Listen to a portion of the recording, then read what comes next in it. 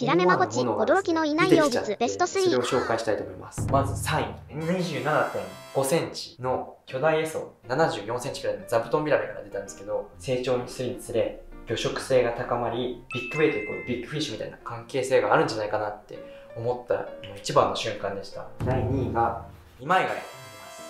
二枚貝だけを食べてたんでもう貝を狙って食べてたっていうことが考えられたんで結構驚きのデータでした。第1位イソギンチャクなんでヒラメがイソギンチャク食べてるのってすごい不思議だったんですけどやっぱり今でもわかんないです。このいい地点でもしかしてその隠れクマノミみたいな魚を狙ってヒラメが食べちゃった時に間違えちゃったんじゃないかと思ったんですけどいい地点に生息する魚類クマノミ系はいないってことだったんでもう本当にイソギンチャクをヒラメが狙って食べたっていう状況が、えー考えられます。なんでか今もさらに詳しい全然わかんない内容は概要欄にて。